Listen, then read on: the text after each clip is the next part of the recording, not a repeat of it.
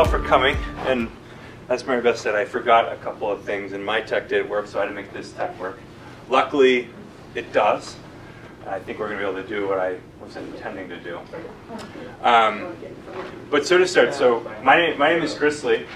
Um, Backyard ADUs is a company that I started working on in August in response to uh, basically I, I was reading zoning bylaws as one does. And, and, and I found out that tiny homes are actually allowed in backyards in a lot of towns. There's just some restrictions, like they need to have a septic plan, and they need to be on a foundation. And when I when I realized that, I I immediately wanted to set this up because I knew that there was all kinds of reasons why someone might want to put one of these in their backyard if we could make the price work. Um, housing crisis, rising rents, um, elderly people trying to figure out if they can stay in their homes in the face of rising taxes and water sewer rates and all that kind of stuff. Um, so I started working on it. I put aside the, the multifamily development I was doing for me and figured out um, and, and made a point of figuring out how to do this for as many people as possible. And that's where I am right now. Oh, and to point out, uh, my, my friend is in the back just doing some videos so we can, he's creating some awesome new videography stuff for uh, getting the word out. And uh, Pat Smith. Hello, everybody. So, can everybody hear? I just want to make sure people in the back can hear because I also have a microphone available for him if you, if you can't hear. So I do. Raise your hand if you can't hear. Okay. All right. Okay. Cool.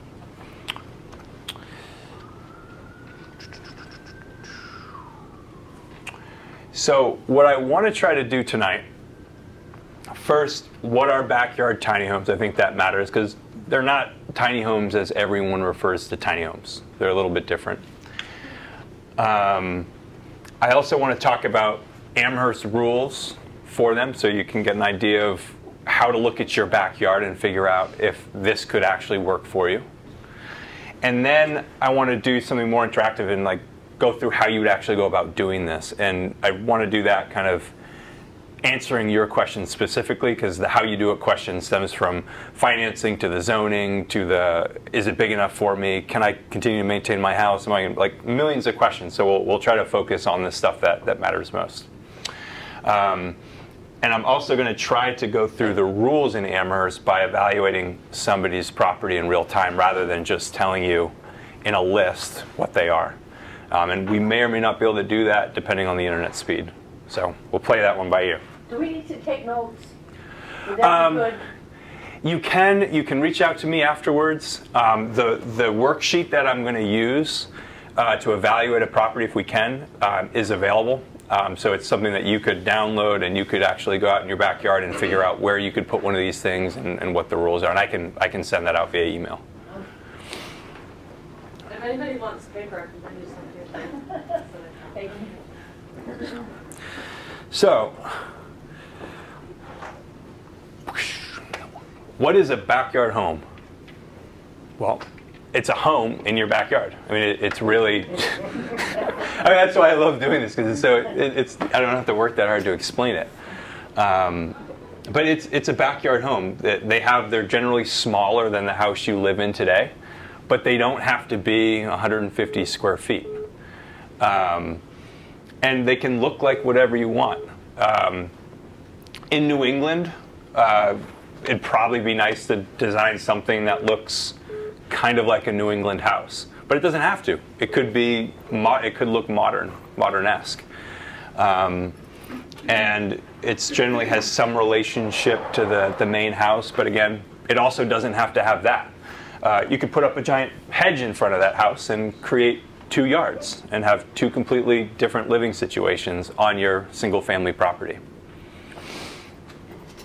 Um, and to give you a, a sense of size, uh, it might be difficult, but this is roughly a 30 by 30 square. So if you think about your backyard, um, to get 575 square feet, you're looking at 25 by 20, 30 by 30, so you can kind of eyeball how big of a yard you might need. Of course, unless you want to do multiple stories. Oh.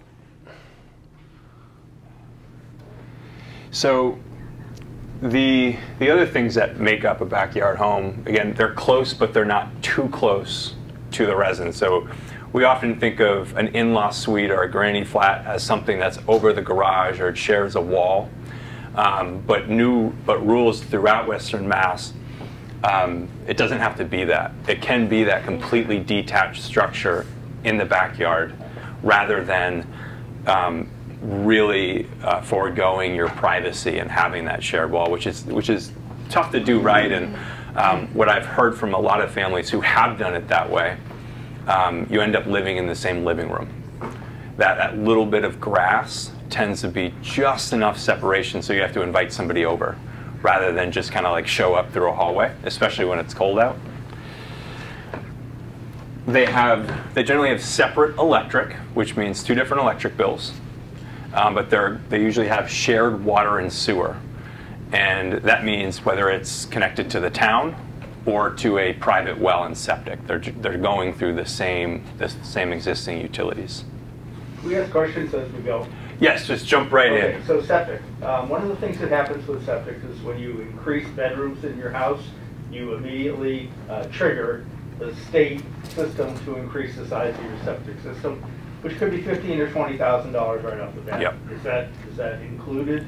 Is that the same process that would happen with this? Yeah, so with, with septic, it does add potentially more cost. L- With newer houses, often you'll find that the septic was hopefully designed for an extra bedroom. So in that scenario, you could potentially expand this and you could add, add something over the garage or you could add something in the backyard. But if you don't, if you didn't have that planning or if it's an older home and they just built it, assume you're always going to have four bedrooms, that is going to be an added expense to the project regardless of how you build this. And you're right, it could be 15,000, it could also be 30,000. And generally when you're looking at the cost of doing this, it's going to increase it by 10 to 20%. So it may or may not be a deal breaker depending on what the alternative option is and what you're planning on using it. It probably would be a deal breaker if you're trying to generate rental income and trying to pencil that out. But if it's an alternate living situation for the next 30 years, it, it may it may make sense. Um, and that question actually plays into the meets local building code. Uh, you've got to pass, if you are on septic, it's got to be a Title V approved septic. Um, you've got to be building these things to stretch energy code. Um, they've got to have the correct stairs for egress, unless we can, unless they're very small and, and move into tiny home territory. Um, and that's that's really one of the things that divides a backyard tiny home and a mobile tiny home is the meets local building code. Might be a good idea to just explain quickly the stretch energy code. Sure. So stretch energy code. Um, can't know. I don't know exactly how many, but it's getting to be the majority of towns in Massachusetts have adopted stretch energy code, um, and basically that means all new constructions being held to a higher level of energy efficiency. So in these, it means you're you're building with two by six walls, or you're using high-end spray foam insulation. So it's just a cost thing. You're putting lots of insulation in the attic, um, and you're worried about you're basically not allowed to put electric heat in anything. So it's it's a good thing. It, it's really helping move Massachusetts closer to kind of a, a net zero net zero energy economy. I mean, it's going to take decades, but it's the first step. And Massachusetts has tons of incentives to help pay for that too.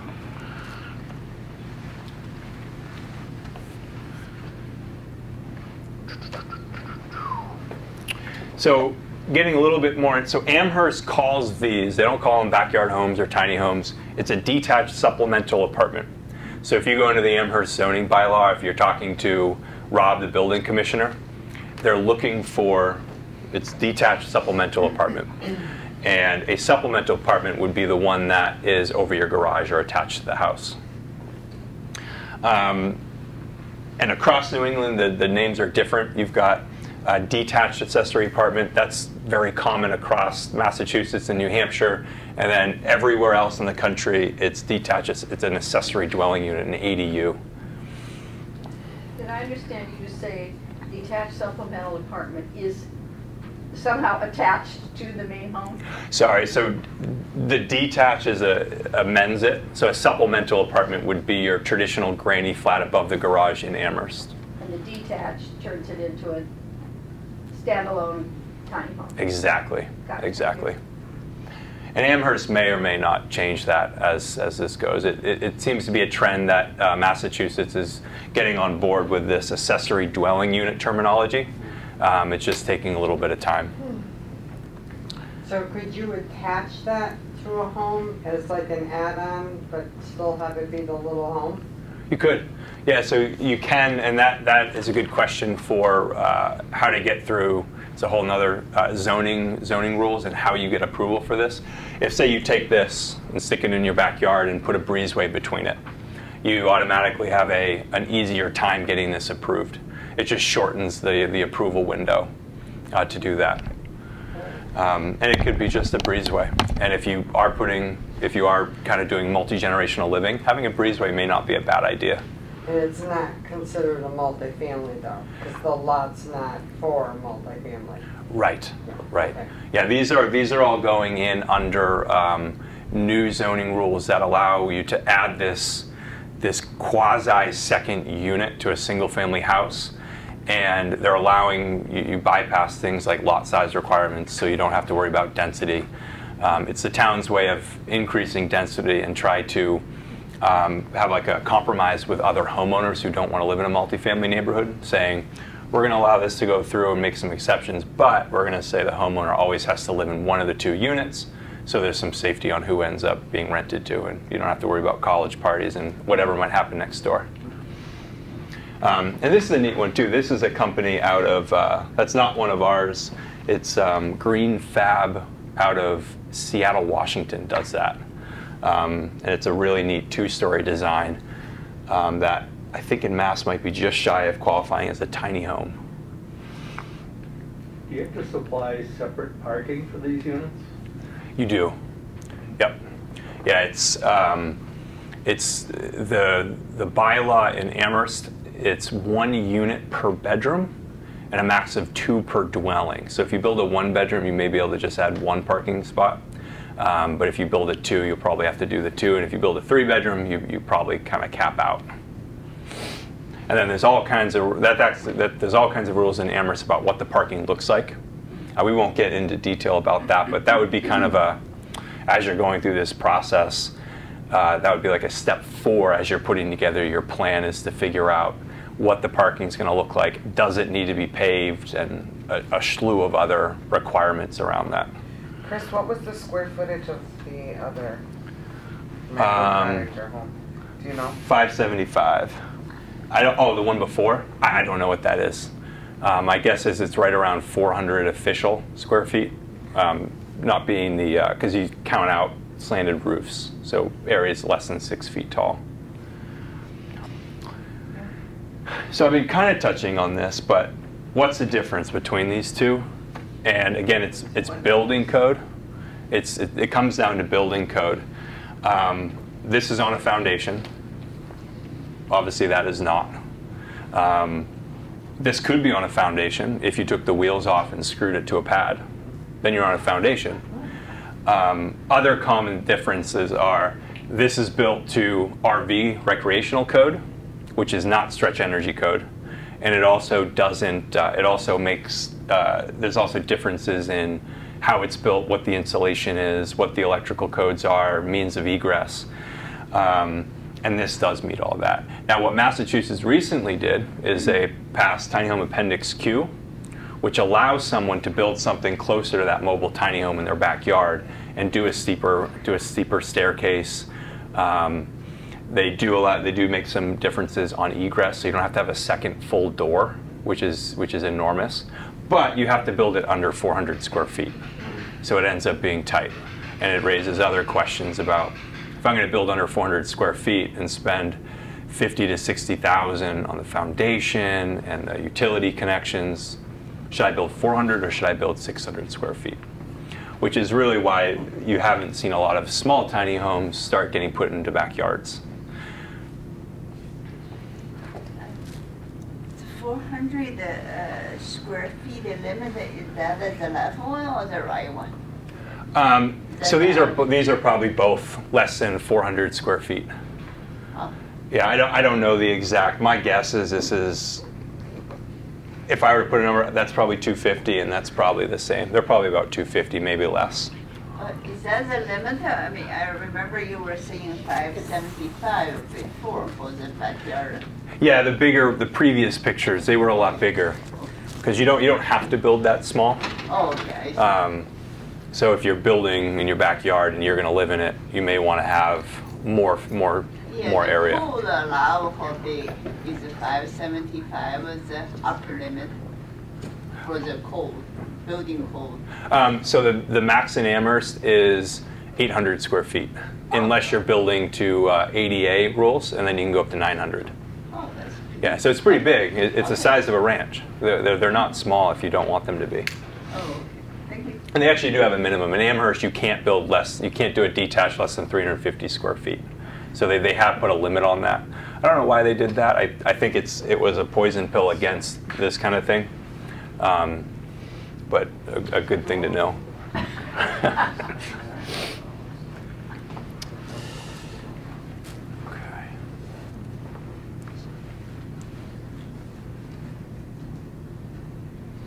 So this is so who are they for? I, I want to ask just the room. Why why are some people here? Volunteers. Downsizing, Downsizing. So you'll live in it. Okay. yes. Parent. A parent. So will they move into your under your property? In, the, in the little house. Okay. Awesome. So downsizing, multifamily. Yes. And rent your house? Sell it. Sell it? Oh, you can't do that. So were you thinking about staying on the property and selling the house, or moving completely? Moving to Moving on to my property. property. Oh. Oh, yeah. Okay. These are my buddies. Can you do that? You definitely can do that. Yeah. Um, in Amherst, you can. Um, so if you wanted to sell your property and build in the backyard, um, you, you could you could potentially do that Uh, with. We're, we're in a condo village, so we can't do it there. Oh, okay. Are you in the Amherst co-housing or a different one? Ice Pond Woods. Okay.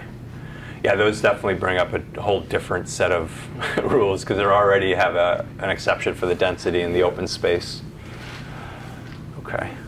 I assume that different towns have a different rules. I live in Hadley, so they have, a- I assume that they are very, they're different.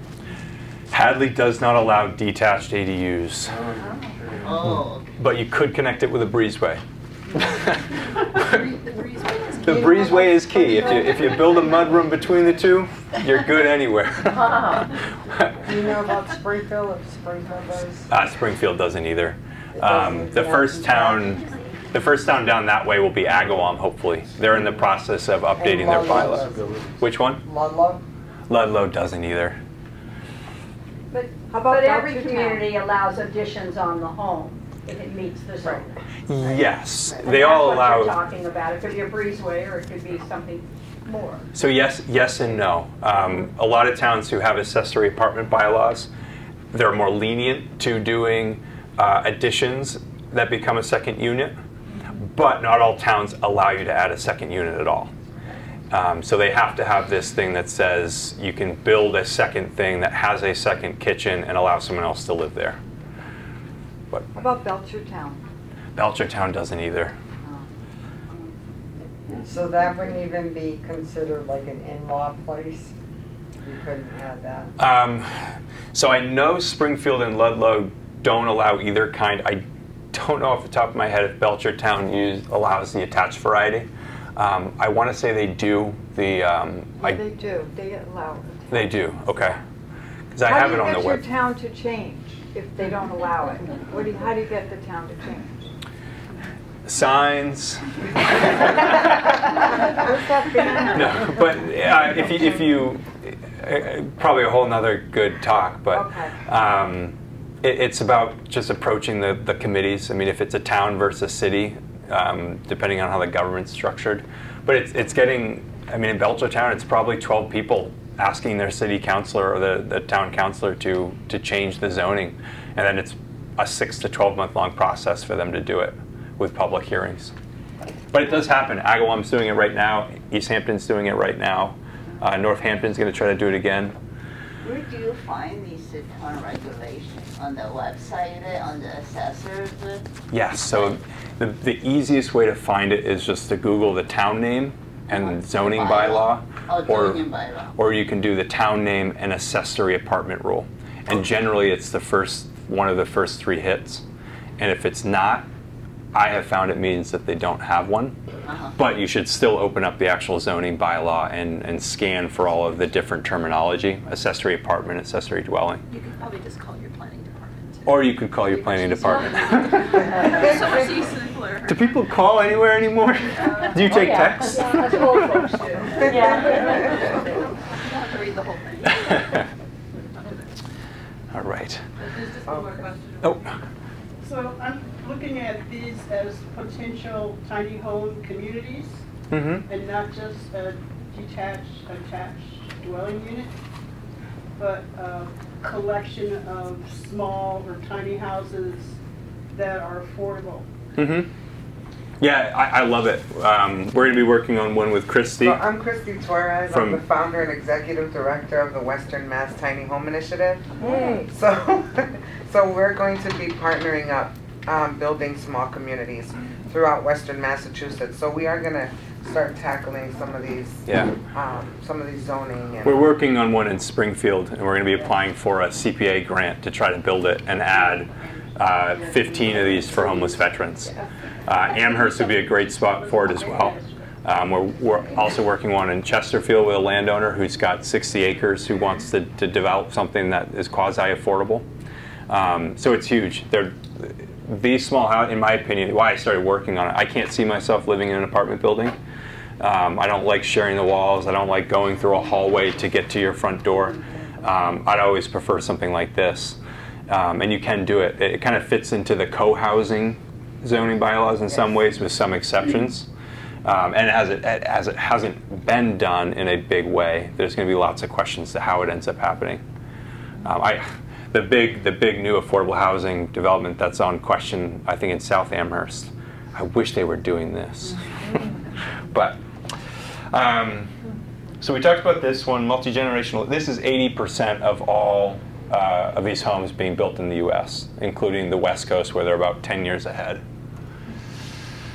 Um, heard a few people in here who want to do, who wants to downsize, and then the whole other piece is what do you do with the with the primary house? Sell it, rent it. There, there's a few different options around that, and we'll I'll try to touch on that at, towards the end. Well, I was gonna ask a question related to the selling the primary Yeah, we can. unit and the legalities about that in terms of the dwelling. Does it separate from the sale of the property? It does. There's a few different ways to do it, and I'll we'll we'll, we'll touch into them on like the how-to. And there's a lot of that's one area where there's not a full and full way of doing it. The the zoning bylaws do not specify how to do it, um, and some towns explicitly ban some of the, the strategies. Amherst luckily doesn't right now, but if 10 people do it, they may think differently. Um, but we'll, we'll talk about that because there's a few neat ways. Um, I do want to touch on this one. This is a, a really interesting opportunity for these, and, and this kind of uh, came forward. Our first two projects, the first one is for, uh, it's a long-term plan for a son with autism who's not going to be able to live on his own potentially. And the second one is for an adult son with Down syndrome who's going to be living in the backyard. Um, and I met I met a guy who is in his 50s in Florence, the, like three weeks ago, who has cerebral palsy, and he was telling me how he wanted to have his own house but couldn't do the whole thing on his own. And Massachusetts gives fifty thousand dollars to a homeowner or landlord uh, in zero percent interest to help do this. So, if someone has a backyard and wants to create housing for someone with a disability, Massachusetts is going to give you fifty thousand dollars at zero percent to make it happen, and then you could work out a fair rent with that person who's going to live in your backyard. So I'm dying for more people to do that, and we've been talking to Pathlight to try to figure it out. But Is there any, uh, do you know what happens, this person moves out, are you then required to continue to build the space with someone disability? so if you if they move out and you If you're- don't I mean, if you can't find one, then what happens? So I, they don't have a lot of uh, examples of that happening because it hasn't been used that way. It's usually within family. Um, but the example that's set for like the Affordable Housing Trust, if you take affordable housing money, it gets prorated and you have to pay some of it back if you don't continue to honor it. But there are so many people with disabilities that need housing. There's always going to be someone that will want to come in and, and live there, especially because it's going to be new, it'll be accessible, it'll be theirs. They won't have to go. Uh, the guy Chris's biggest gripe was he hated going in the elevator to get to his house, rather than just go in the front door. And that 50,000 too does apply to uh, if you're starting to have mobility challenges, start trying to age in place. And it's a little bit gray on whether or not it could apply if you're planning to have a mobility challenge in the next 10 to 15 years. Um, I- I'm- Diseases where you know that's going to happen. diseases, like old age, getting old. really, but. yeah. I mean, a good portion of seniors can't go up the stairs at some point. Um, and I, and I, I think, I don't know, the program may or may not apply for that, but it's something that if, if, it, if it could be something to bring up with that group. And the way that programs like that get adjusted is by people asking to have them adjusted. And I think it's in the spirit of the program to help people age in place. Um, I think what when it started, the program didn't quite realize that once somebody has a big mobility challenge and can't get up the stairs, they're probably also not going to be building a whole new home in their backyard.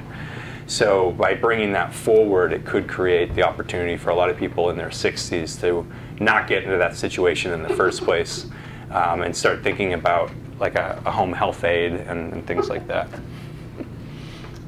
Excuse me, What's the name of that? Uh, the Home Modification Loan Program, HMLP. Um, and Wayfinders administers it in this area.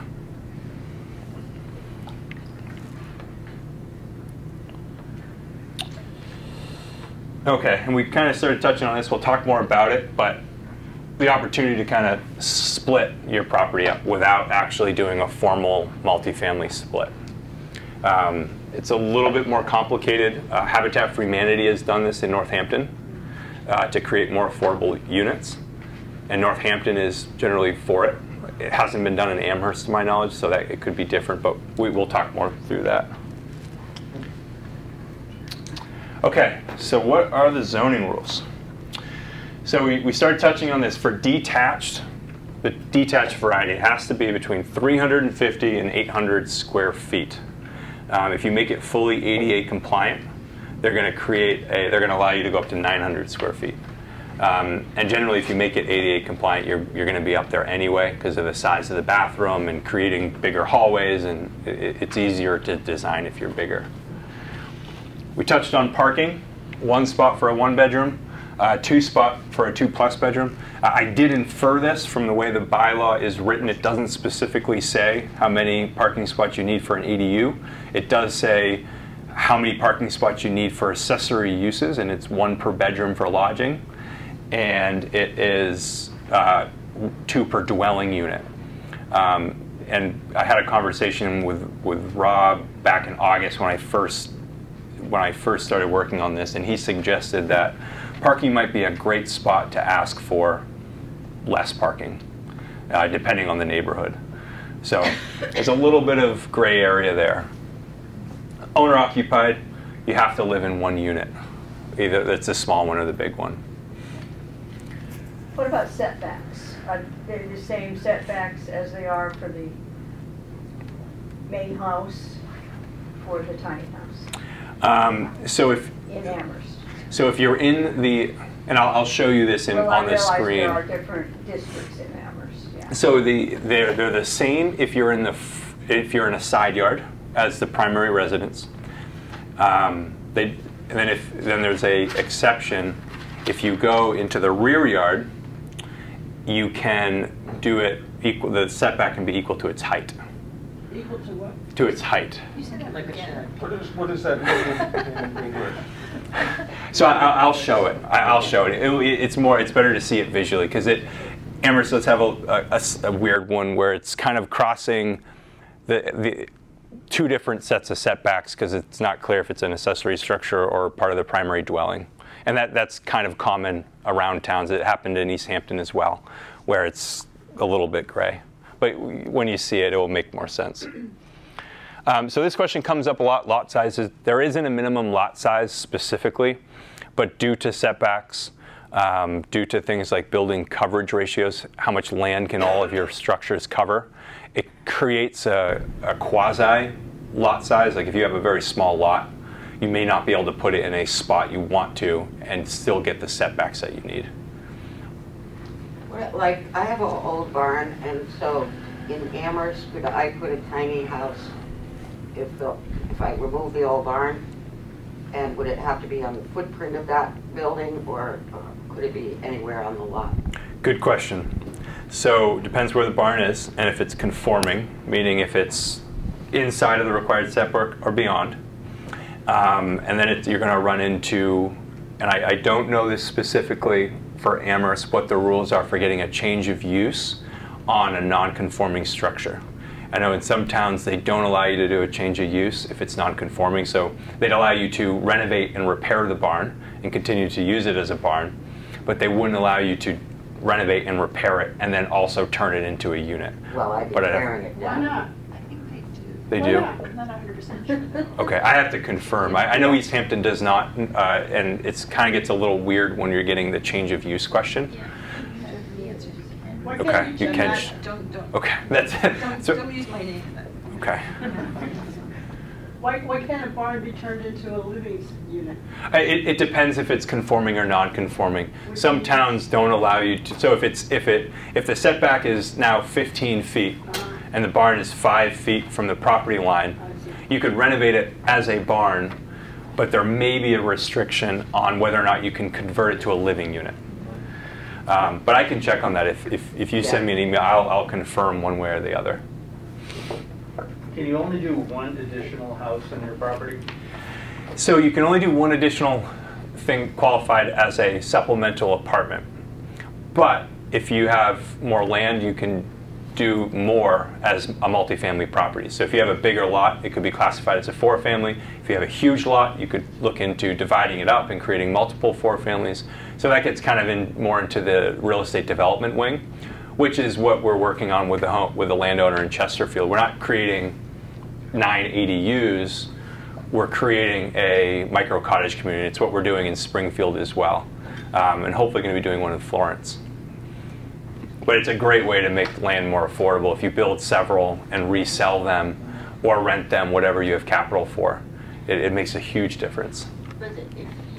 Even if you have a bigger lot, you are not allowed to just build a more unit on that, right? It needs a lot, lot of paperwork and. uh, Lots of paperwork. With the zone, with the town approval of the vote or something.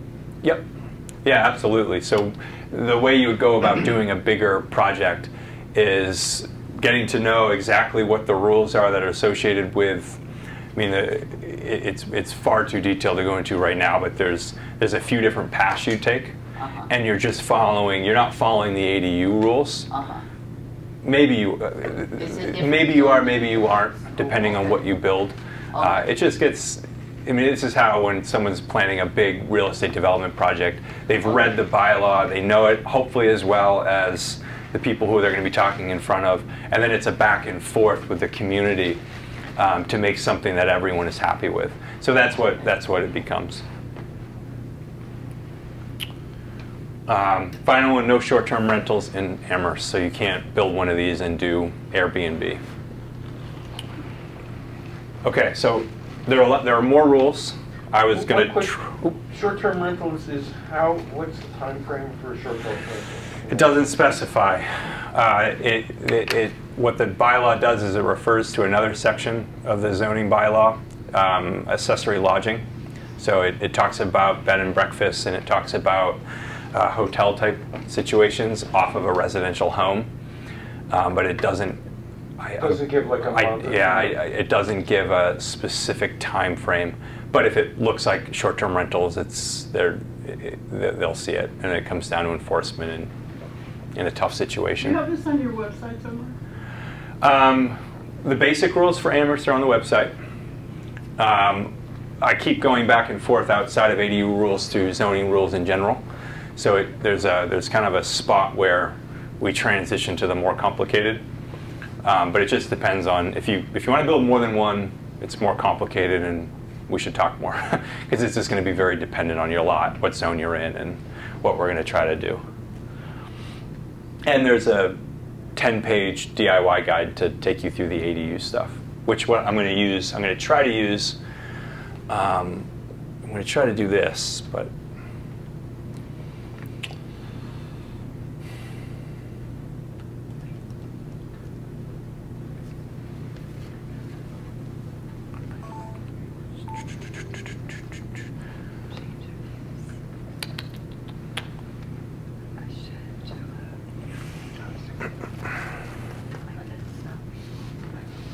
All right, so I don't think I'm going to be able to look at somebody's property. Let me.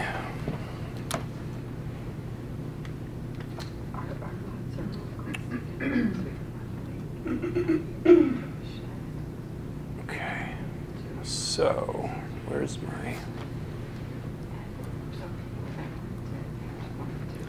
All right, so this this guide is available on our website, and it takes you through the process of evaluating your backyard. I use it to evaluate people's properties. I, I basically put it together because I couldn't keep all the towns straight as I'm going through and figuring out what somebody can do. Um, so it should work. We haven't gone through the approval process in Amherst yet, so there might be some inconsistencies. Uh, it comes out when, whenever you do a, a anything where you're going in front of the ZBA, you find stuff out as you go through the process. The planning board, the, the planning department is extremely helpful in that. Um, but it, it's, it, it's probably 99%. So let me see if I can open this. Cannot connect to it.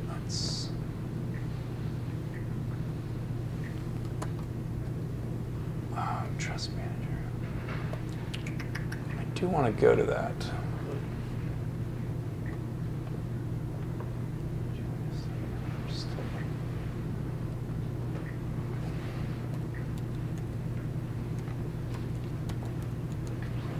Oh man.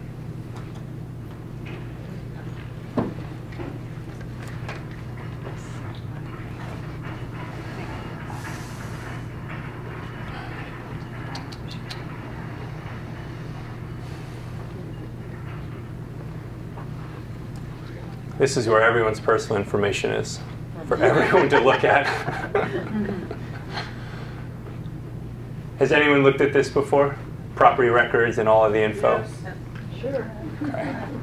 Um, so it is loading. Does anyone want to volunteer an address? Hmm? Yeah. Okay, what? We'll start. Four seventy-one Station Road. 471 Station Road. Okay.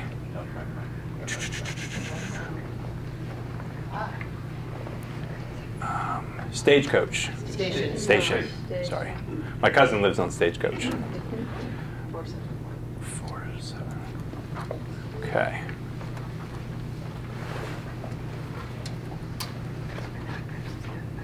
Um, bring me there. All right. What a wonderful property for an ADU. okay, so um, I'm going to try to go back and forth. We'll see if this will allow us to do that. Maybe I can. Let's try to do this. Okay, so we'll try to do this a little bit. All right, so we kind of we talked about this. This first one's easy: is your property a single-family residence? If it's not, you can't build an ADU. Um, the the towns are trying to keep these as conversions of single families, not adding a third unit to a two-family or a fourth unit to a three-family.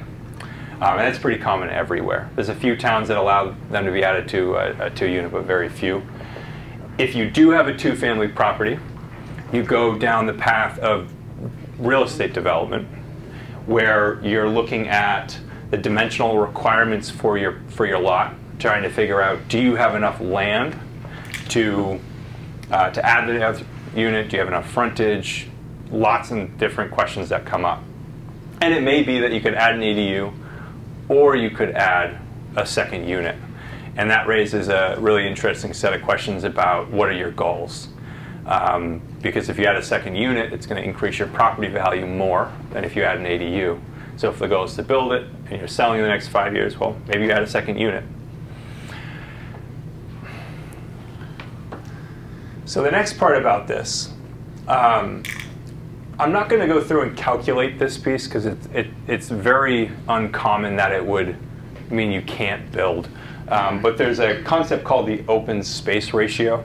And this is just looking at, there has to be a certain amount of grass and greenery on your property. You can't build up the whole thing. And every district has a different ratio. Um, the more dense districts, you can build more stuff on your land.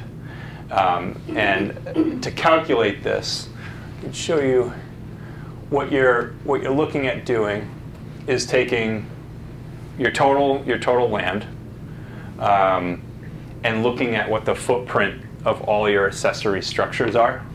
So you, you, you multiply the, the size of the floor of your house, if you have a big garage, if you have a, um, if you have a shed in the backyard, you take that all, you add all of that up and divide it into your acreage and figure out how much open space you have.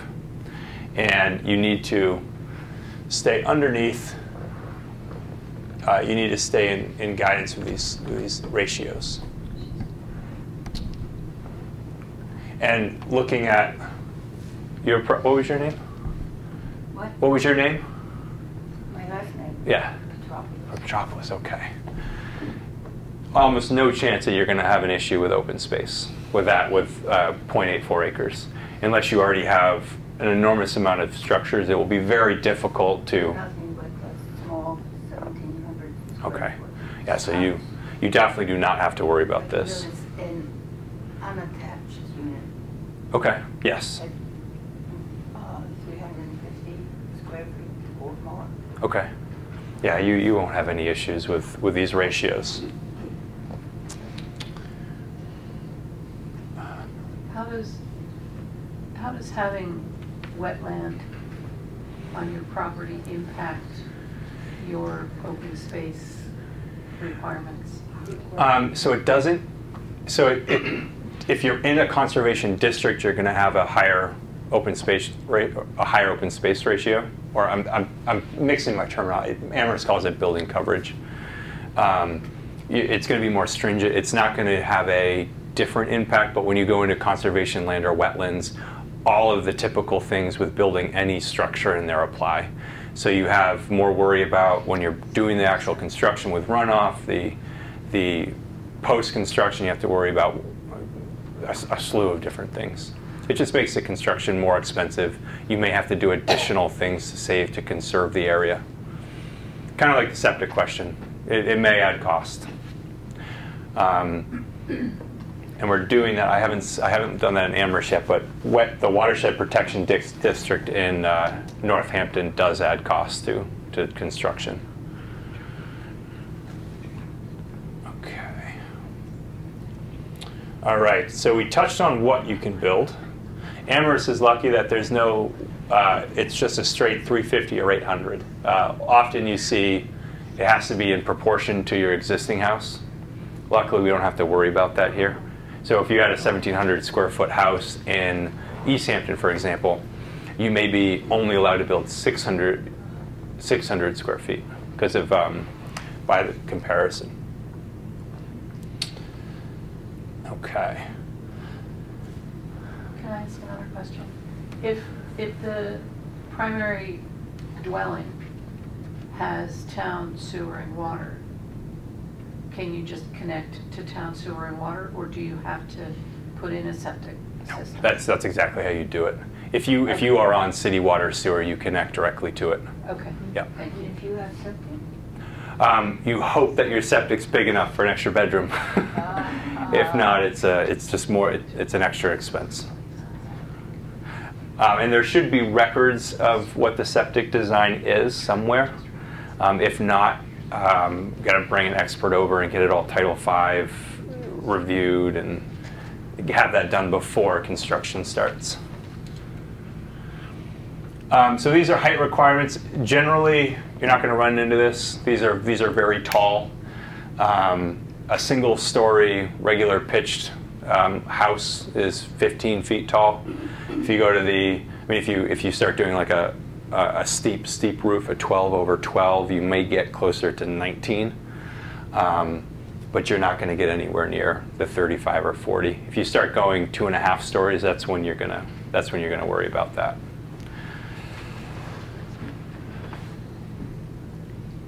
Okay. This section is talking more about open space ratios. If you are up against that, you have to figure out how big of a structure you can build. Um, and if you are up against it, it creates questions. Should you go two stories and have a smaller footprint? to kind of to, to work through it. Um, and this does have a, a guide as to how you'd go about calculating the the square foot and the coverage of the of the things in your property, going right through.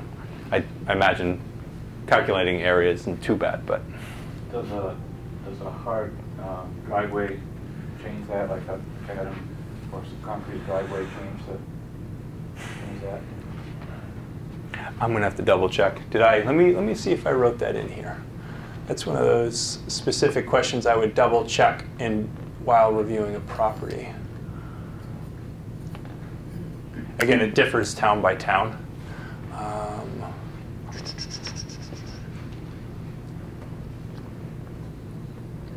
yeah, so I did. Amherst allows also limits the amount of non-pervious surfaces. So, um, but this is a different ratio. It, they're they're putting that under the lot coverage. So there's a total ratio for buildings. There's a total ratio for all non-pervious. Thank God I put that in there. this is why I have the guides because there's two. There's there's a lot of different rules. Okay. All right, so where can you build? So now we're going to go back to this chart. Um, so I, I started talking about this. So we're following primary resident setbacks for sure if you're in the side yard. So if you're in the side yard in view of the street, you have to make it look kind of like your house. You're going to have more stringent review during the zoning board process and you're following the same setback requirements of your primary residence.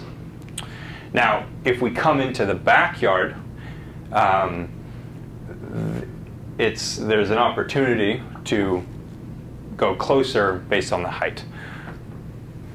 And that's because this is technically, it's an accessory structure. So if we're putting it in the backyard, now we're following the accessory structure rules. And in Amherst, accessory structures can be as close to the side of the property as they are tall in practice, you may run into, like if you're in the RO, out one of these larger setback areas, you may have benefit of uh, building at 15 feet, which is the general height that you'll probably be at. If you're in the, the more dense areas where you're at 15 or 20 feet, it's difficult to build something that looks nice under 15 feet tall. Uh, you end up doing a flat, low pitch roof. It ends up looking like a mobile home it, it just ends up being not something you're, you're going to want to build. So can you say that one more time, please? Um, pitch is about the roof.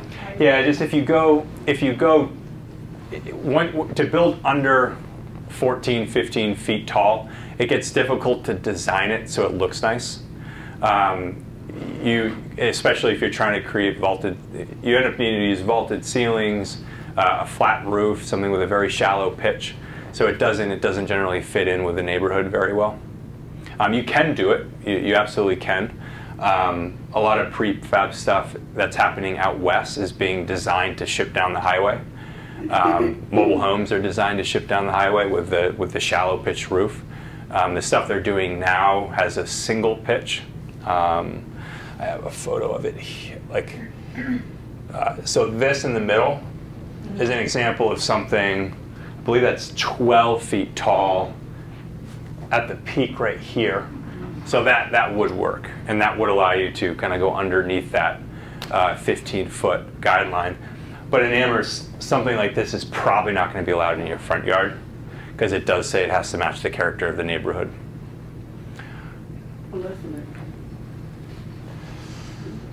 And it does reduce costs if you do prefab as well. If you're doing, if you're partnering with a, a factory to help build these, um, it does reduce costs to be able to ship it in one piece or um, without needing to do cathedral ceilings and whatnot.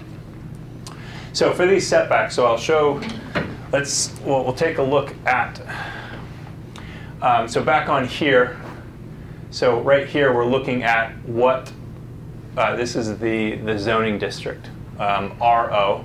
And if you click on this, it's going to open uh, Amherst actually has the best interface for looking up your properties of all of the towns I've looked at. Um, nobody, no town actually tells you the zone right out of the gate. Nobody gives you a link to the appropriate. It's very good.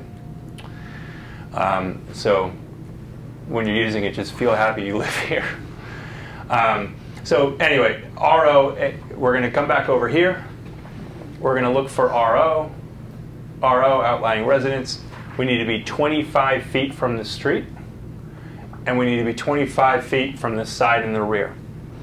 So if we come here and we look at this property, let's zoom in, and we can see the generally where the driveway is, where the main house is. If I come up here, I can um, I can start doing some back of the envelope measurements. So I can see we are 54 feet to the corner there. So something could be built in that corner. Um, something could also, see if I can. Um, so if we look at the front one, something could also be built up here. Is that telling me the? You hit. How did I? Measured length. So if we look up here, a really nice spot for an ADU on this property to use existing infrastructure would be somewhere right in here. You could, you could have it right off the main driveway. You don't have to build lots of new paths. You don't have to build more parking. Um, your, your sewer water is, is coming some, or you said you're on septic, didn't you? Yeah. Ah, okay. It's, it's on that, It's somewhere over here. yeah. So assuming your septic is the right size, if you were to build something over here, you've got a straight shot to connect to it without having to go into your basement. There are lots of trees on that place where you're talking about. So let's so what you can also do with these is take a look. Oh, yeah. So you'd have to cut some trees down and put it over there. Too many big ones. Um, so actually, this where your septic is is a, is also a great spot. You would just have to build a longer path. Have to connect to the sewer. And if you're if you're building closer to the septic, um, that's a much deeper, more expensive trench to build than than a lot of the other ones. You're going down four feet deep at least, and you're trying to get the right slope. So you, you end up having a very deep, long trench to do it. But if you can build close to where the septic is without getting on top of or disturbing the leach field, um, it, it can reduce costs and allow you to build a really nice Goshen stone path or something to get out to it with the savings. Does town sewer exist on Station Road? Uh, They just, uh, did it just before, a year and a half ago, I put the new Oh. septic set, but they were, they just finished So it now might be the time to hitch up. Well, there you go. So maybe you don't have to worry. A, a new septic system. Oh, you that do? I paid a fortune for. Well, hopefully, if it's new, hopefully they planned it for an extra bedroom. Mm-hmm. I don't know. Pretty much. So these ADUs, you're, you, you, you build a flat, you're not allowed to have a basement or? You can have a basement. You can, Yep. okay, that's optional, okay. Yeah, yeah, you can you can build your square the. footage? Um, so it's a good question. I, I don't think it would be. No. Uh, they're generally right. Yeah. Um, generally, what they're trying to do with the square feet is not to build a gigantic structure. Um, so the basement would generally be able to do it, and they are looking at uh, uh, the livable, like the, the gross living area, and um, when they actually they don't calculate it for the house here, but yeah, you'd be able to do it. Yeah, the basement it doesn't come for, for real estate. Right. Mhm. Well, it depends if it's a walkout basement and it's got living, it depends in the ta- different towns. so. Yeah, it's always excluded from the appraisal square feet. Right. Um, because Amherst isn't even looking at the square feet of the existing house, I, it's not it's not going to be an issue. In Easthampton and Montague and Chesterfield, they all do this thing where they're looking at the square feet of the house, and they go between gross living area, actual living area, and they apply it differently. But the best, the good news is most towns are very pro accessory dwelling units if they have the bylaw. So the zoning board is interpreting the bylaw in your favor in a lot of ways. because they're pro housing. They realize this house gets done. They realize this is better than a giant apartment building going in uh, where trees currently are. Do neighbors have any negative, possible negative input? Yes. I bet they do. Yes. Um, they, they, yes. So if you do a detached one, you have to go in front of the zoning board of appeals. Uh, it is a public hearing. Uh, it can be negative. Um, what what you want to do to avoid that is include direct neighbors, any stakeholder in your project, in your planning process. As soon as you think about this, bring them into it, explain what you're doing, why you're doing it, ask them if they want a hedge. If they want a hedge, give them a hedge to, to block the view. Um, the key is not to have that conversation at the zoning board of appeals because it will get ugly. Uh, it will become a town meeting. It will not like they'll just be just hate. And we, we experienced that with our first one in Easthampton. We, we did not follow, we did not um, properly bring the neighbors in early enough. Um, you do not want neighbors to learn about your project with a notice in the mail or a legal ad in the Gazette. Um, but they can't shut the project down because they don't want it. They have to do the same thing you're doing in creating your plan, and they have to find a zoning reason that it can't happen. And if you have a good plan, there's, it's going to be very difficult for them to do that. The biggest area that they can fight, so if you wanted to put one right up here on the road or, or close in this guy's view, they're going to argue against it fitting the character of the neighborhood because that's ambiguous. What is the character of the neighborhood? I mean, is it Hardie board siding? Is it is it a 12-12 roof? Roof? It's the- It's the status quo. It's a status quo, and that's it's not written in the bylaw, so it's up to interpretation. Um, and I, I believe it's in some ways it's a good thing because it allows neighbors to have conversations about this. Um, and assuming that you shake hands with your neighbors and sit down with them, you'll come out with a good outcome. Okay. The people who live in the house, do they have to be related to you? No, not not not not in Amherst. So we're at 7:30. What time do we have to wrap? You go as as long as you. As long as they're okay. I don't think they want to stay that long, but. So we can do.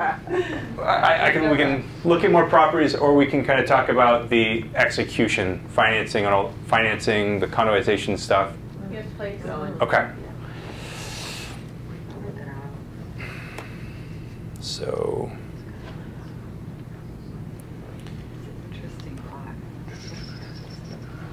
So let's see how I want to do this. Should I understand you to say that the, the- the value of your property, the assessed value of your property for tax purposes will not change after this building is built?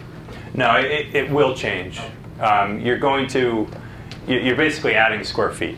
You're adding a bathroom, you're adding a bedroom. Um, what, what is more ambiguous, more gray, is will it change like adding a second unit? Um, if you are appraising the property as an appraiser for a bank, the answer is it won't change as much as adding a second unit because it isn't one. Um, it's this weird half half thing, and as you can see, two units appraised for enormous amounts of money in towns where rents are high. Um, so adding an ADU, it's this weird middle ground where it's kind of up to the tax assessor on how they're going to consider it. Because the tax assessment is not necessarily correlated with the bank's appraiser's assessment. Um, and we're, we're going through this right now uh, in, in Northampton, where we, our project in Florence, it could be a two unit or it could be an ADU. Um, so I'm having a conversation with the assessor this week to get a better understanding of how he's going to assess the property once it's built. Um, if he's just going to assess it as a second unit, well, we're just going to build a second unit. But if it's still going to be a single family residence, we're going to keep it like that so their tax bill doesn't go up too much. But then when you go to resell it, you, you want to think about it differently again. And you can do a conversion later on. Okay.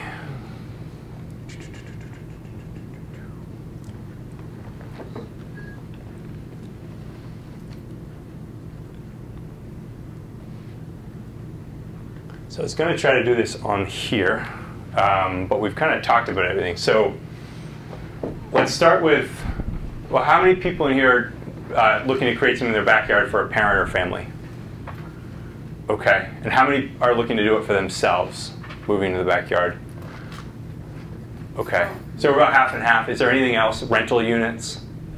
Yeah, rental. Rental unit, rental unit. Okay. Um, I don't know how how useful it will be to write on here. So I'm going to write this out. Condoization. And this is we're going to start with we're going to start with um, if you're doing this to downsize and stay on your property. So if you're downsizing, let's do it this way. So downsizing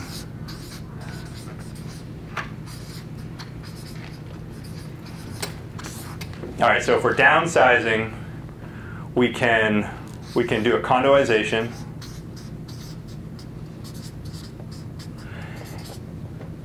This option is potentially a good one if you have no interest in being a landlord. Um, it's not necessarily going to be the the best financial decision um, because there's not a lot of comps on what happens when you condoize a single family property. So what this specifically is, um, and it took me 15 minutes talking to uh, Megan, who's at Pioneer Valley Habitat for Humanity, to fig- understand what she meant, and it's actually not that complicated. You basically take the larger house and the smaller house, and you turn them into condos. So you essentially have a two-unit condo association. Your old big house is a condo, this new house in your backyard is a condo, and together you figure out how you want to mow the lawn. And what that does is, once you condoize it, you have two separate assets that people know how to buy and sell. Um, what you don't know is what happens to the value of your original house. Because there is a value of a single family home as a single family home.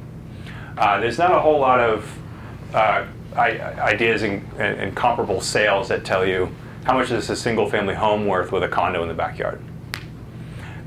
So that's a question mark, and I don't have a good answer to it. Um, my guess, my guess is from where rental markets are and where valuations are, the closer you are to walkable city center, the less of an impact condoization is going to have on the value of your home. Because uh, generally, as people get more dense, they, they don't need as much space. But if someone's moving out into South Amherst or away from the city center, they're not going to want to share their property as a two unit. So that's one of them. Um, it, it costs between six and fifteen thousand dollars to drop the condo documents, and that's something that uh, you generally work into. How much are you going to sell it for, to make sure that you you make that work, um, and also thinking about the sale before you do anything. Like find somebody, list list this idea um, on the MLS, find a buyer contingent on it becoming a condo, and then do it rather than go through this whole process and hope you have a buyer at the other end. Um, renting.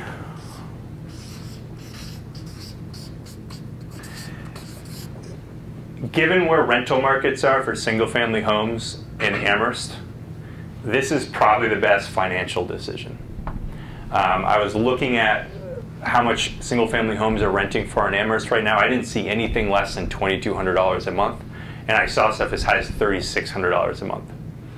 So if you do a quick back of the envelope over the course of the year, you're going to be you're going to be taking $30,000 in rent, maybe $50,000 in rent. That's going to completely pay for all of the taxes on the property. That's probably going to pay for a lot of your mortgage on building this new home in the backyard. Um, it's going to pay for lawn maintenance, and it's probably going to pay for um, paying, putting money away to fix the roof in 20 years. Um, it, the catch is, of course, you might have to worry about the roof leaking. But that comes into, as you're thinking about doing this and building the backyard home, part of the backyard home project is doing a detailed evaluation of your home and identifying things that are going to go wrong in the next 10 years and potentially fixing them now. Or at least saying in year five, I'm going to need to replace the boiler. Or I'm going to need to replace the roof. Or if you know your plumbing has a tendency of getting clogged, fix it now so you don't get a tenant call at 9 o'clock. Um, I, to put an asterisk over that tenant call, if you don't want that call, you can hire a manager and have them take the call. Um, but with a single family home, if you've been living in it, if there's not a whole lot that goes wrong, it's probably not going to change that much when you have a nice family move in um, into, into the house. It's not just going to start breaking um, unless, of course, you get a really bad tenant. But luckily, if you're renting out a single family home and you live on premises, you can be more picky with who you pick. Um, you can take your time and really find someone that you think will be friendly, someone that you want to live close to, without worrying about going to court over, over a lawsuit. Um, and that only applies if you're living there. And it does not give you free reign to discriminate. Um, but it does allow you to really find someone that you'd feel comfortable walking by when you get home and stuff like that, or seeing playing out in your backyard. Condoization, renting. Um, these are the two big ones um, for downsizing. So can I, you you said there was a, a fee for condo documents. What's the fee for rent, uh, rental? Dropping the rental documents to build that? Um, depends how you do it. LegalZoom is 100 bucks. Okay. Yeah, it's, it's not much. I mean, if you want to bring an attorney, and there'll be more fees, but I, um, if you're just renting a single family home, there, there's lots of uh, leases that you can get. So it's just a matter of getting a lease. It's not, Yeah. okay. If you want nothing to do with renting your home, um, you get it's a 10% property management fee, so that's off the top, but it's not huge. And then you may have to pay a fee if you want someone to find a tenant too. And Amherst is a hundred dollar yearly um, permit fee for renting. Okay, on top of it, and you do have to submit a management plan with that too. So you actually have to give the building commissioner your plan on how you're going to pick a tenant and how you're going to take care of things and Parking. and parking. And just to continue that thought, in order to do this, do you have to actually live in one of the properties on the property that you own? Yes. Yep. Um, if you're talking about more than, if you're not talking about ADUs, if you want to build multiple of these under multifamily rules, you don't have to live there. So that's a that's a different thing. Um, if you converted to a two unit and did this, you don't have to live there.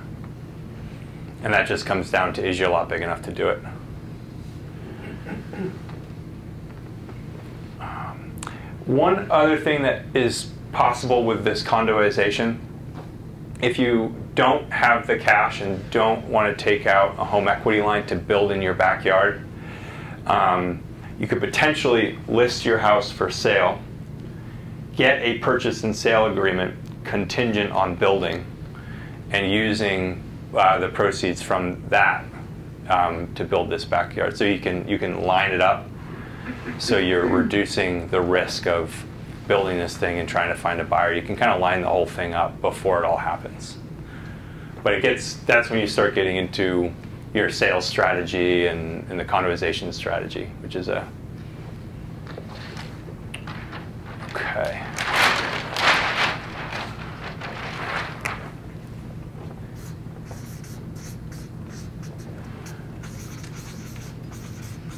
I realize I got a question mulling around. Okay. If, in the condo situation, if the original homeowner dies, what happens? And the, and you've made a condo, so the other, the people living in the tiny house presumably, or living in the main house, but whatever, it, it becomes more complicated. Do you have any answers? Is that a lawyer's? Good question. Um, so the second person, Amherst, who, who asked that question, which is good because Some of us are getting old here in Amherst. Well, it, it, it hasn't come up in Northampton or, or, or Easthampton or any other town yet, but it has come up here. Um, so here's what I said to the other person. It's, it's an absolute gray area because it hasn't happened. When the zoning bylaw was written, they didn't think about that. Um, what I think would happen is the as long as you, the, you have a will in place and the chain of ownership goes down to the kids, I would have to say there's going to be a grace period to figure out a plan for that house. It's not going to be able to get rented indefinitely because that would be breaking the zoning rule. Um, but I also don't think that the the building commissioner or the police are going to knock on the door and, and say you have to tear this down. Um, I think there'll be a, a, a, period. I don't know how long it would be. It could be a year. It could be two years uh, to figure out the ownership of that. But but the children would not just be able to rent that house indefinitely. They would probably need to sell that out. So it's a lawyer question. It's also a question for the town to, to think about that use case on, on how the zoning board would would would deal with it if it if it made it that far.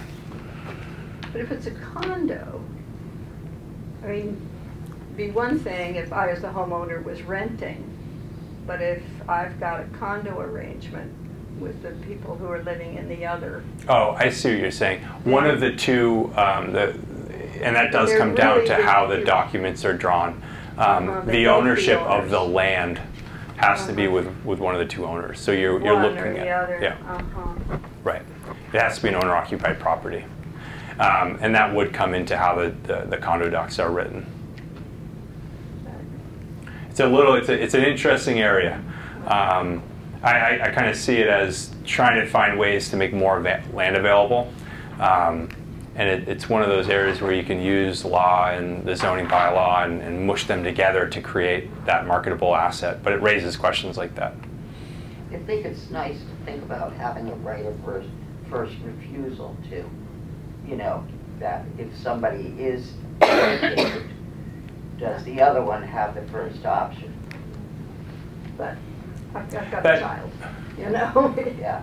She's gonna inherit, so Yeah. it, it, it, it's a lawyer question. Mhm. A And you can with a put lot that of in. estate, Right. uh, ability. Usually something like that would happen. So if you're going to be selling this to someone who has a, a 15, 20 year plan to stay in the house, um, there, there could be a right of first refusal put in there where they have the opportunity to buy at market and then do what they want with the home.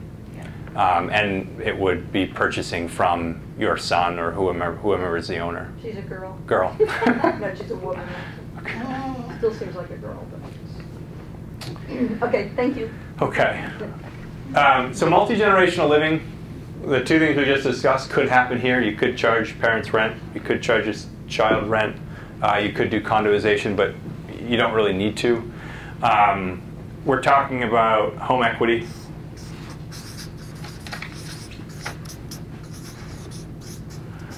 Um, we're talking about that home modification loan program. Um, there's a few different things in there. Uh, cash. And then proceeds from, it's cash, but proceeds from the house sale of, of a parent.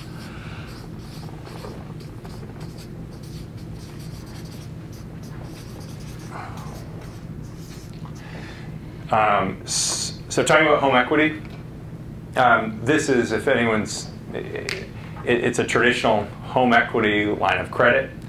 Um, it's a cash out refinancing. Interest rates are still low. Um, so you're, you're, you're not going to be borrowing at a higher expense in all likelihood than you, you currently have.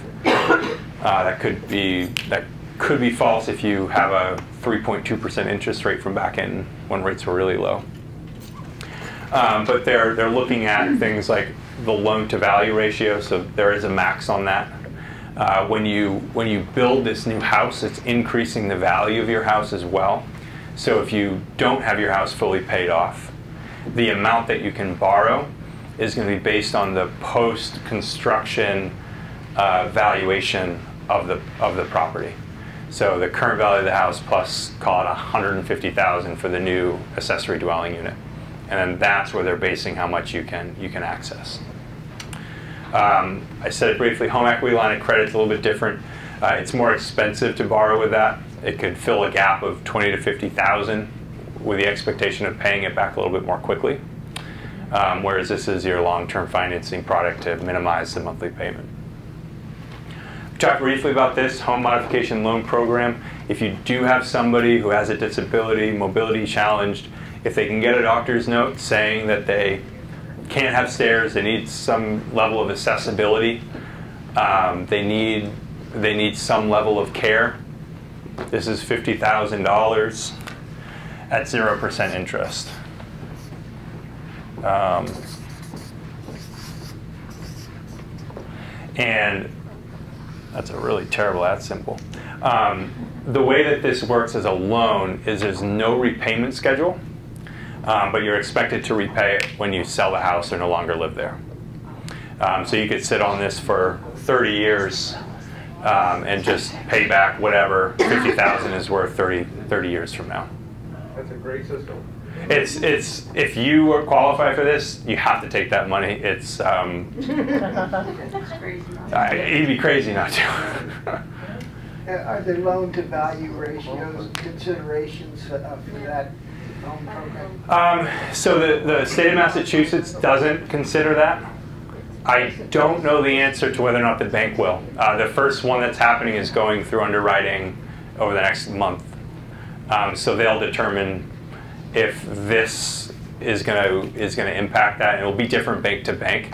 Um, it probably will not because this is going to be a second claim on the property. The bank will have first claim, and then the Massachusetts only gets money if the bank doesn't get all their money. So they probably it probably won't be an issue. Now, is that for the, the original homeowner, or is it the parent or the relative? So this is tied to the to the house, to the property that it's being lent for. Um, it's not necessarily to the person, but it's associated with a person's disability.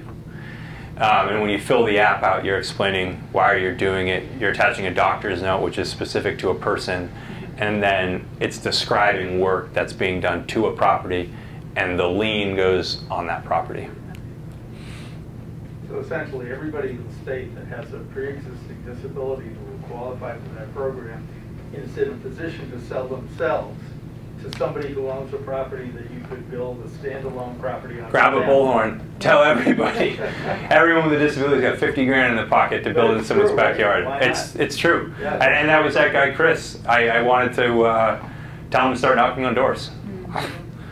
I mean, it's it's a it's a leap. Someone's got to do it. But Yeah, if they've got a big yard, I mean, what a wonderful way to create a unit.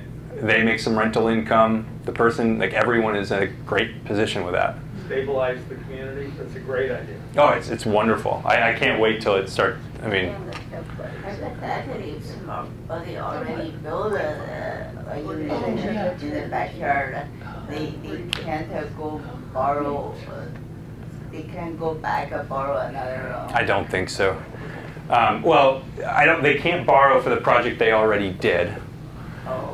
Uh, they could borrow for another one though. They can borrow for, for improvement or other. Yeah, you, you um, yes, and landlords can get this too. A landlord can borrow this and create another, fix a unit, create a new unit. Um, there's some rules with how many units they have onto uh, whether or not they can access it. Like if it's a commercial per- person, the number is a lot smaller. I, I don't remember off the top of my head what it was for commercial, but I think the cap was 10 units. Where would we find out more information on this? So if you just Google home modification loan program, um, Wayfinders is the administrator uh, locally. In terms of the appraised value of the home, after you've done the work, let's say you have a house that currently is worth three hundred fifty thousand dollars. You build a standalone unit that costs, let's say, hundred thousand dollars. Is it now looked at by the town and the real estate community as being worth the total four hundred and fifty thousand dollars? So there isn't there isn't a definite answer to that because usually so an appraiser is going to be looking for comparable sales, and there will there are no comparable sales of backyard homes. Um, that will change. It, it, it hasn't even fully changed out west yet, where this has been going on at a, at a higher pace. Um, my my guess is going to is that the appraiser is going to uh, look at it as an addition of square feet. And in Amherst, the sale price per square foot is enormous. Um, so there's probably a chance that th- there is a chance that when you build this, you have a higher value than what you put into it.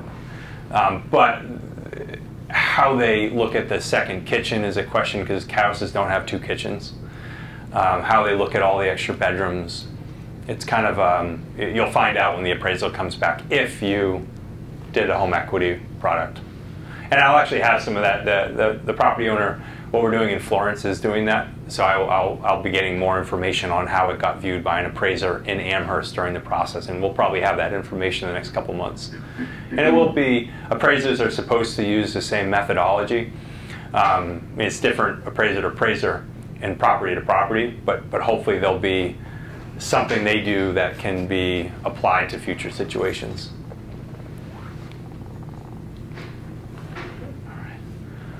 Cash is pretty obvious. Um, I, cat proceeds from a previous house sale, I think that's, I've seen that happen. Um, if someone's selling their house, moving into a backyard, a great place to put that cash is in a new construction in, in family's backyard. Um, I, I did just hear some of the insane down payments for getting into some of the um, elderly communities, like four hundred thousand dollars to to get in. I, I think left, yeah, it, it's insane. Um, and of course, once you do this, there's no monthly cost unless you're paying someone to do the lawn and whatnot. So it's a good place to put money and, and, and live for the next 20 to 30 years. Was anyone, so there were some rentals doing this as a rental? Okay. Um, so as a rental,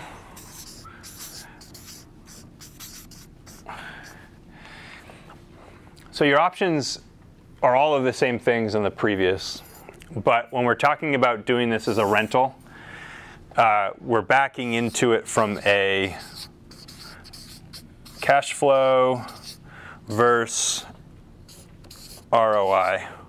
And I'm going to, so return on investment. Um, without going too deep into the, the uh, how you evaluate how to do this as an investment, are your goals to get maximum cash flow? Or are your goals to get maximum return on investment as in like the, the yield. So if you think about bonds, you get a 4% yield, a 10% yield. You're balancing these two.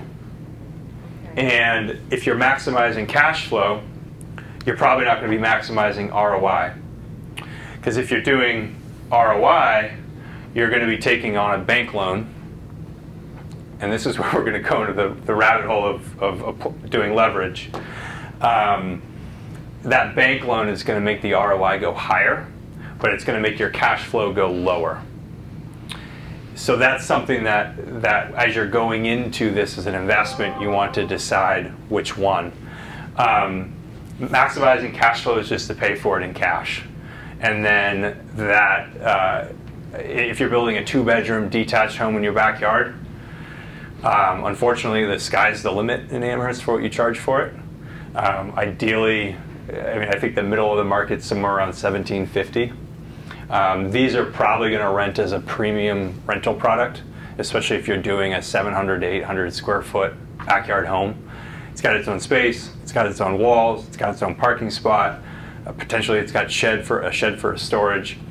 Um, it's basically renting a single family home. Um, when you do a tiny home, it's going to be a little bit different. I, there are there's a minimum square feet that square foot that someone's going to be willing to live in, and that will impact the rental price. Um, Just, just, I, I spoke to a management company today and they said generally you think, you think about the income that you're getting is five hundred dollars per bedroom. And that's for a single family home. that seems to stand with what the with what it says when you look at um, Hot Yeah. Pads and Zillow and um, Rent NoHo and all those. You don't So- have to do that, right? You don't have to. You don't do it. You can have rent to, it but for. that's generally the, the going rate, I think, in Yeah. Is that five hundred in profit or? No, no, no, Five hundred no. that you charge per bedroom, so let's say you have a four bedroom house. Or it's definitely. So none of those. I saw I saw some rentals. I saw some five bedrooms rented uh, listed for thirty six hundred Okay. when I was looking yesterday. And these Well, that's uh, more hopeful buildings, these apartment buildings, the apartment, the bedrooms are like six or seven hundred dollars. Yeah. So if you're Depends on where you are too, compared to the, where you are to campus. Yeah, generally, so the first bedroom in an apartment Isn't that what we is saw? a higher rental rate than the second bedroom and the third bedroom and the fourth bedroom. Uh, the market in Amherst makes that a little bit different because you have students willing to live all together, and a student is willing to pay what they would for a, a one-bedroom apartment to live in a single-family house. So if they're willing to spend $700 on a one-bedroom apartment, they're probably willing to pay $700 to live in a bedroom in someone's house with roommates. Okay. And that's what happens in, it, it, it happens, I saw, it, it happened where I have some multifamilies back in Maine in a college town. I've seen it in the rent prices everywhere where there's college. How much does it cost to build one of these separate units? Good question. Um, so it's all over the place. Obviously, we build them. We can do uh, our, mid-level one bedrooms, 142,000, ready to move in. Um, doesn't include replacing the septic. Um, we can do a two-bedroom for 155. I've heard average costs in around here can be as much as 350 to 450 dollars a square foot. I mean, it's all over the place. Um, I don't know where we where our costs are standing in the pack, um, but it ultimately comes down to what you want to build. I mean, if you're building a rental unit, you're going to want to optimize where you're spending dollars to maximize um, durability and how nice it is. So, like in a rental unit, you're not going to put money into super high-end handmade cabinets with a Brazilian cherry finish, but you're probably going to buy a high-end Merillat cabinet that can take some abuse and looks really good. And you'll probably put quartz countertops in it so the laminate doesn't come apart. Um, if you're building on your own, you figure out what do you want. Do you want to spend money on a really nice fireplace? Um, do you want to have really nice hardwood flooring? Do you want all kinds of different gabled roofs, cathedral ceilings, and God, you can spend as little or as much as you want to do it. So the hundred forty-two thousand is, what's the square footage? That one's 575. That was, um, I don't want to do too much on. I can, if you guys want more info, I can send this. That one specifically is that one. Okay. How many bedrooms does that one have? That's one. Yeah, I can't really put too many. Uh, you can't put too many more than one in. Yeah, it really it's 700 So square that's, feet. that's turnkey. Turnkey. Yep. Yeah. So if it needs a septic, it has a septic, if it needs a hookup, that's done. It has gas, it has water, it has. Um, so we don't, we don't, I wouldn't recommend doing these with gas. Um, with small square feet, it's very easy to get to net zero. Uh, you don't, I mean, you can put enough solar on the roof of that to make it net zero um, without doing double stud walls and triple pane windows. So you're at the, when you're in small and you're using efficient space, you can just do a mini split. And if you're really worried about whether or not it's going to work in January, you can add an electric space heater.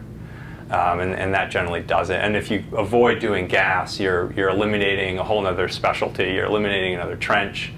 Um, and, I, and I believe you can't do it at all because of the moratorium. Right, So, have to do propane. yeah. But yeah, propane, and then you have to add a tank, and you have to have someone fill it, and propane delivery is incredibly expensive. Um, so I wouldn't recommend gas. So do you put the solar on when you, or you just? We don't. We would coordinate. We would coordinate it. We kind of we um, we, we we coordinate everything, and we have different partners who bring stuff in, so solar and plumbing and building and all that good stuff. The first step in all this before construction, though, kind of in the execution, is it's it's a it's a at least a month to figure out what you're going to build, and plan out your financial financing strategy. And you're doing that in what are your goals for the property? Where do you want it to be in 30 years? And then backing into what you can afford. What is the cost of maintenance on these things? What's the cost of maintenance on the whole house? So you kind of get through that whole thing before you even think about your construction methodology. Because nowadays, you've got traditional stick building, stick built construction where they build everything for six months in your backyard, um, and you can get anything you want basically. You got modular construction, which is building a huge portion of the home and components in a factory environment where it's uh, quality control, and you can do a lot of customization to that. And then you've got panelization, which you're building full walls and you're, you're clipping, you're building walls with high-end machinery. Um, basically, it, it's how they do it pretty much all, all over Scandinavia. Sweden pretty much builds exclusively modular and panelized. Um, but you're basically coming up with the plans for the house that you want and bringing them in in pieces so you don't have people doing all of that work and getting weather delays and all of that. And I'm tuning that one because we are panelized and modular. Because when I started this, I could I didn't know how to build a construction team with a labor shortage. Um, you've got to if, if you find good people, you've got to have them doing the high-end stuff that you see at the end of the day. You can't have them putting studs together in, in your backyard. So we just focus. We have them focus on building nice pergolas or nice stonework outside or putting faux beams inside, hardwood floors, stuff like that. So there's no architect being involved? Um, so if we're if it gets to the point where we think we need one, we'll bring one in. Um, but we don't generally. I mean, if it depends on the complexity. Uh, generally, for floor plan design, you can go back and forth uh, with a home designer and the homeowner and do virtual tours and get a very good feel for it. And once you've brought it to that point, you can kind of make that decision: should we pay 500 to $1,500 for an architectural consult? Um, if, if you're doing full passive construction, you'd probably bring one earlier because you're going to want to bring in more than, you're not going to just say, okay, southern sun exposure is over there. Let's make sure we have more windows on that side. Let's get a slight overhang on the roof. You're to, there's, a lot more involved. So it just depends on the complexity. If you're doing a big development, um, probably going to need some kind of architectural civil engineering review of the site plans because um, it's going to take into all kinds of stuff that's over my head. Um, but it's just figuring out when to do that um, so you're not paying for it if you don't need it. Did, did you, I came in late, did you talk at the beginning about, like, I sort of have this image in my head of a tiny house. Did you talk about that at the beginning? Um, yeah, I can, I can. Where- What, you know, like, it looks like a trailer, but it's on wheels and it's made of wood, not the, know, Yeah. like that. Um, Where do those fit into what you've been talking about? Uh, so, touch on a, so the difference is this generally is built to recreational vehicle code, and this is built to building code. So there's a difference in how much insul- insulation is in this, and how it's tied to septic and water. Um, But can they still get approved the way you were talking about, all this other? we can we can approve this if it's like this on a foundation attached to a approved sewer sewer and water and meets all of the building code on the construction. So you just you just can't have it on wheels and yeah yeah you have to have a sewer plan and it has to be the building code. And it can hook up to all of those utilities from the regular house if it's within a certain distance of the house? Yes. Yep. That's exactly how you do it. Do you, can you speak to, um, you you have the little tiny house on the wheels. What about yurts? Do you know anything about yurts? A little bit. I, someone said she has to replace her yurt in Shutesbury so she can become legal. that was a phone call I had about a month ago. Um, they, they- they don't meet building code. They, they're generally canvas. They're not going to be energy efficient enough. Um, you still have to connect them to utilities. So it's kind of the, it's kind of the same thing as a tiny home. It, it's a dwelling, but it can't be a permanent dwelling. I think there's one on um, Hampshire College campus. Is there? Yeah, There was one. Oh, there was, still yeah. there. I don't know if it's the way the- center people don't, of it the- Yeah, the, the other thing. I think it also was in Kansas. Yeah, the, the, the other thing that's happening with yurts is the. Um, so, a yurt by definition is a Mongolian living structure gets taken down and put back up and made of animal skin. A yurt today is like fancy camping, and it may have wood walls. It's generally circular. So, when someone says yurt, you don't know what they. They may be meaning the Mongolian variety of yurt with a fire in the middle. they may be they might be meaning California glamping. I mean, it's kind of the same with tiny home. People say that's a tiny home, but we say that's a tiny home. There's, there's no there's no formal definitions around any of it. I, I thought the tiny home had to be uh, uh, 400 square feet or less. Th- So th- for building code, that was defined.